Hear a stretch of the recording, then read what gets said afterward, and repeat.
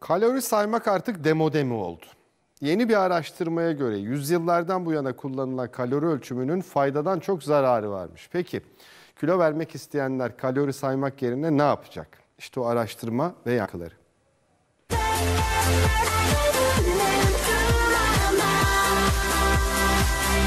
Kalori hesabı yapıyor musunuz? Şeker şeyler yediğimde o zaman yapıyorum. Bu elmalı tatlının kaç kalorisi vardır desem. Az 300-400'ü var diye düşünüyorum en az. Öğlen mesela sadece patates kızartması yedim. Vallahi acımadık yedik ya bu sefer. Kalori ölçümünde ne değişti? Aradan geçen yıllarda zararlı ve demode mi oldu? Makaleyi okudum e, ama katılmıyorum. Yurt dışında yayımlandı bu araştırma. Yüzyıllardan beri kullanılan kalori ölçümü faydadan çok zarar sağlıyor dendi. Bir kardiyoloji profesörü var yanımızda araştırmaya sonuna kadar katılıyor.